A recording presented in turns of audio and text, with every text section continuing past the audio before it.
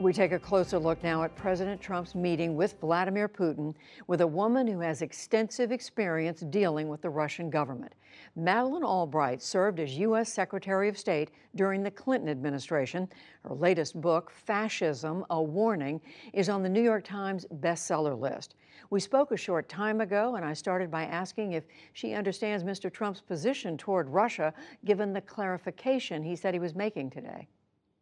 No, I'm definitely not clear because I think that he tried to explain that this was just leaving out an N apostrophe T, but I think basically it's unclear about how he believes, how he feels about Russia, period, in terms of how to deal with them, uh, how he distinguishes the fact that the NATO allies are foes uh, and that uh, Trump believes, I think, that Russia is his friend and only cares about collusion because he's so uncertain about his own victory. Well, on, on the question of collusion, and there, there, there's no proof that there was yet, but we know the intelligence community has concluded that Russians interfered. The president also said today he now has full faith and support in U.S. intelligence agencies after casting doubt on their work.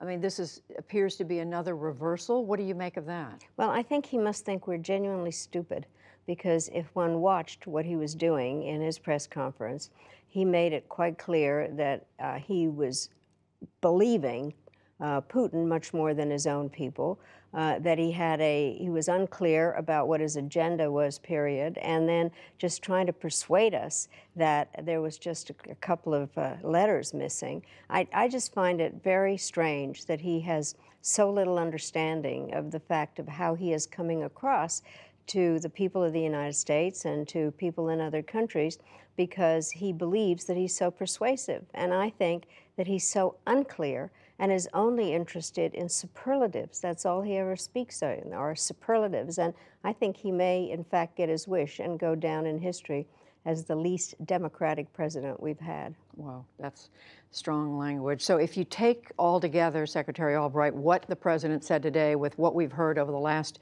few days, the NATO meeting, the trip to, to Britain, uh, the meetings with Theresa May, and then the meeting with Vladimir Putin, what does it add up to?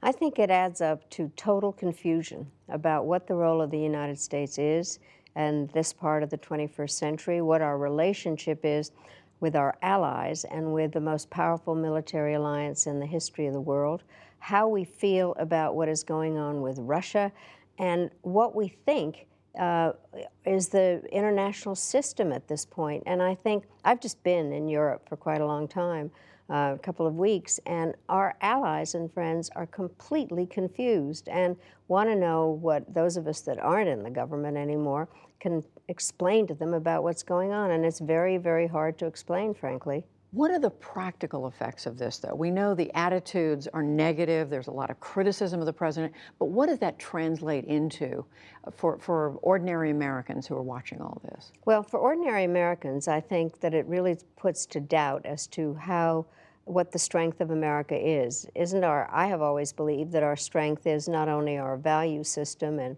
our diversity, but also the multiplier effect of having more allies than anybody. And so that brings that question into mind. Then I also think that what it has done in terms of our allies, frankly, um, this super political president has forgotten that those countries also have political issues and that they have to try to explain why they are paying at all into an alliance, which it's unclear what America's role is. And so they're looking for other ways to have a defense system and how to operate. So I can tell you they're all trying to figure out what their next steps are. But he is, the president is taking credit for getting them to put billions of dollars more into their own military, into their own defense. Um, uh, does that not add up to uh, at least a fairer uh, equation for, for the support, the military support of NATO? Well, I think other presidents have talked about it, and I think it's very important for our NATO allies to pay up. But just the tone of it, you know, he had kind of bullied them into something, then he takes credit for it.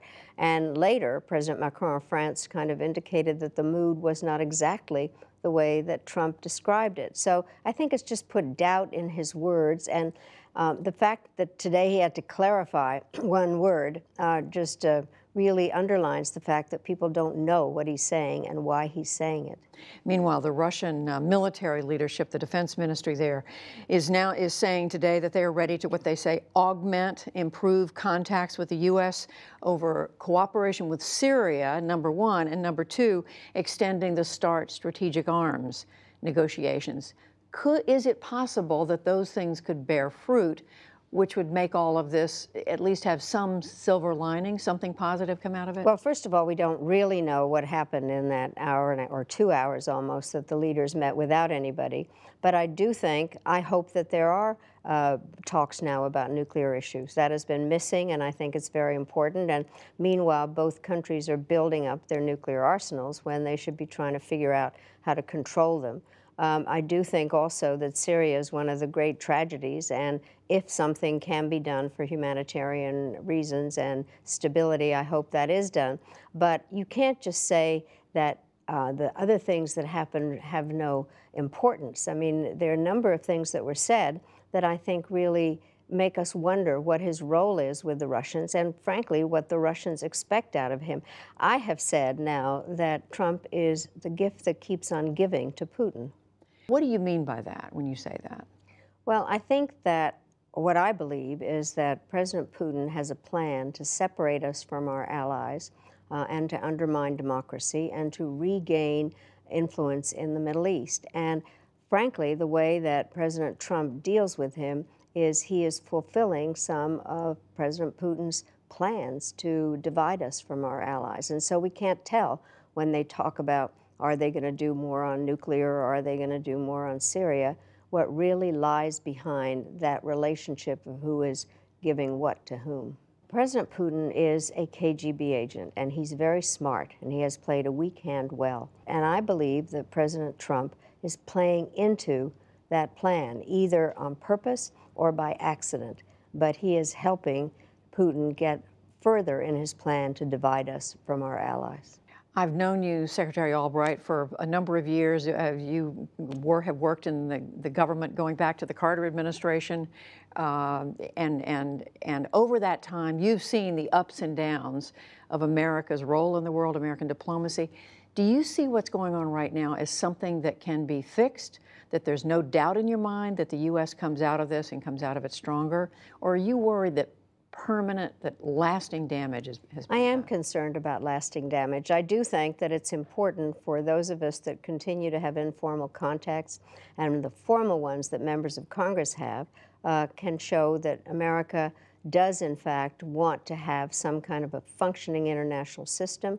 We don't have to boss everybody around. I think that what we believe is that we are better off with partners, but I am nervous that the longer this goes on, that it's harder to fix and that the allies will take different roads and will decide that we are not dependable. That's kind of what some of them said, is they weren't sure they could count on the U.S. anymore. And that's the basis of the relationship that we've had uh, since the end of World War II. Former Secretary of State Madeleine Albright, we thank you. Thank you, Judy.